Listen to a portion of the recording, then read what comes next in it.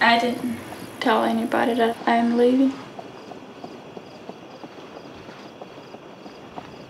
If I uh, tell them, they will keep me from going.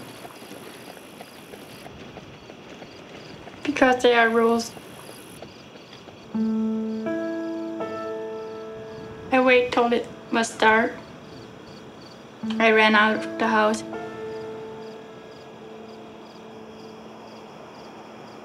Take some books along in my pocket. A prayer book and what we call a recipe book.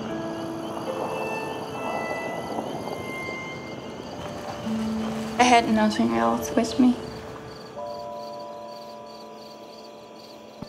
I stay overnight in the barn and went the next day to the bus and get a ticket.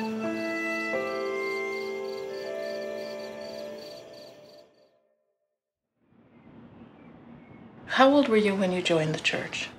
18. Were you sure of it? I was sure to join. You wanted to join. If we didn't join church, we cannot marry. So you had somebody in mind? Yeah. But the girls cannot pick out. Well, of course not. I know. Unfair, isn't it? So he never asked you for a date? I had one date with him, but he didn't ask for back. I was the age where people would not really think about having a date with me, and they would call me an old maid. In my home church, there was just one boy that don't had a girlfriend. There were not a lot choice of dating.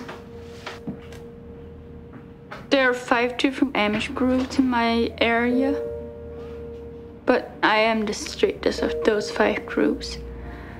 So we cannot date with other groups.